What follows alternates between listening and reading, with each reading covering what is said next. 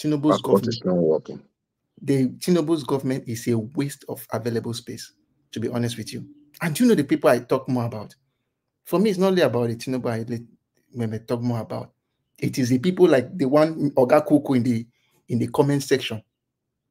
They say the strength of every nation lies in its people. When you see people who are charlatans like that, hailing government when they know they are doing the wrong thing, that's when you will know that Nigeria has lost its way. There was a time before where one of my my students asked me back in Nigeria that sir, what if I come and just give you fifty thousand? And I, as I said, I said I don't collect free money. I don't take free money. If anybody walks up to me and asks me, gives me maybe a hundred thousand, ask you which kind of service will I give to you? What are the services I'm supposed to do for you before? So I don't get take free money. But Nigerian youths are, are used to taking free money. Somebody walks to you and give you a million naira, and you feel that ah, you collect and they run. You see somebody's money in the floor, you collect and they run.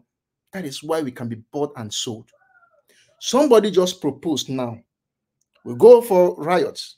We go for this, go for that. Have you ever thought about the the the, the protest of ignoring these people? Ignoring means somebody calls you to hail him and the rest, and you don't hail him and you don't collect his money. Do you know the, the, the dent it will be on his image? I have seen it before. I will say it in the 2015, um, uh, 2015 election. I went to vote. I went there to vote. I know how they came with money to even convince me. I looked at them. I said, if you not come for I go fight you. Get out. I don't want your money. Now, so all those mama and the rest, they look at me. I went there, cast my vote, and left. They were looking at me as if I came from space. Why must you be bought and sold because of small money? Why? Did they do this rubbish now because they know that some people on social media and some people are hailing them?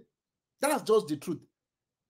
Even if you let these 200 million people in Nigeria now refuse to hail them, you will see how it will affect them. Did they do all those rubbish because there are some people who are useless who are hailing them? That's just the truth. Is it the rule of law we don't have? Is it what what which way one call, which way no in in in, one, in one call? So Nigeria is just somehow, I will say first, the Nigerian people. To be honest with you, I want to thank the Obidients, really. I'll thank the Obidients. I al- always say that Obidients are not only Peter Obi's followers. There are those people who believe that we should have it better in this country. To be honest with you, Obidients are not Peter Obi's followers, like let's say 100% quote unquote. No. They just want things to be better. So I want to thank them. When I don't they try when they do well, when I just keep on they go, keep on moving ahead. But for those who are waste of space, who are there, anything the government do, like as I said, demolishing landmark, you know, do a environmental impact assessment. How the thing will work. You went and scattered somebody's investment, only for you to go just some few kilometers. Hey, we are sorry. Who now pays for that thing? And yet you tell me from abroad, or maybe you tell one, one uh, investor, come and invest. How you want to convince me? to? Man, that that, that is such How you want take do am? A case where you do something bad, and I cannot take you to court and win the case when I know that I am right.